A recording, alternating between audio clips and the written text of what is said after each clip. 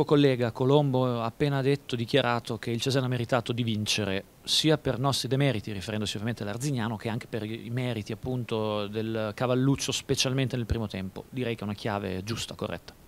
No, eh, sapevamo che partita andavamo a affrontare sicuramente perché eh, eh questa è una squadra che specialmente fuori casa e anche in casa dava sempre fastidio a tutti perché è una squadra aggressiva, una squadra che ti lascia giocare poco, ha voglia anche di giocare a calcio, quindi sapevamo. Noi siamo stati bravi nel primo tempo a creare molte volte superiorità, a cercare le nostre giocate, abbiamo trovato eh, il gol.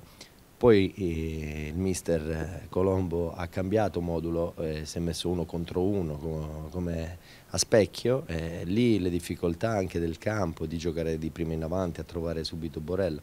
Nel secondo tempo invece la partita molto più, secondo me, dove potevamo chiuderla con Valeri, non siamo riusciti e quindi abbiamo sofferto un po', però io devo dire bravi ragazzi perché hanno fatto una grande gara e questa vittoria ci stava tutta dopo la sconfitta interna contro, contro il Fano.